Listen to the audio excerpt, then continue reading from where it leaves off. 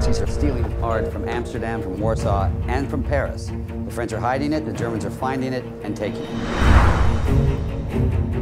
Claire Simone is based on a real-life woman called Rose Valland. She was a curator at the Jeu de Paume, Voilà. which was the Museum for Contemporary Art. This turned out to be the headquarters for the Nazi looting operation in Paris. Claire, we need another champagne glass. Oui, monsieur. Her hatred of the Nazis was absolute. She was watching all of these Nazi leaders choose the art and send it off to different places. Und das hier wird ein Geschenk für unseren Führer nach Berchtesgaden. She cataloged thousands of pieces of art in unbelievable detail. She would have been killed immediately if it was discovered that she was doing this. You won't be fired. You'll be handed over to the SS. Is that clear to you? Do as you wish. The men know the work's disappearing, but they don't know where it's going to. She didn't want to help the Americans find it because she thought they wouldn't give it back.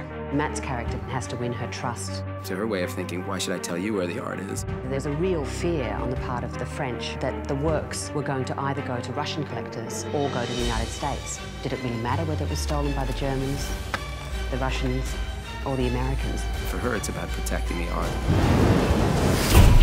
Where do they take the art?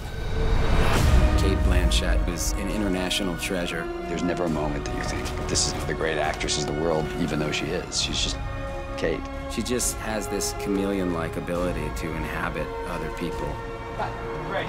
Rose Valland saved castle loads of works of art. The fact that she was working single-handedly was an act of extraordinary bravery. If it weren't for us, you'd be speaking German. If it wasn't for you, I might be dead. But I would still be speaking French.